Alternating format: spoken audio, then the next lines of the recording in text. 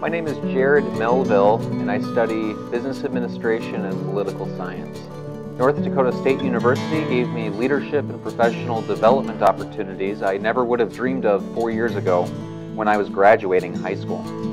NDSU's College of Business and Department of Criminal Justice and Political Science really gave me a robust interdisciplinary education that will support my future career ambitions. Looking back on my education now, I know that attending NDSU was the right decision. I'm infinitely grateful for everything I've been able to achieve here.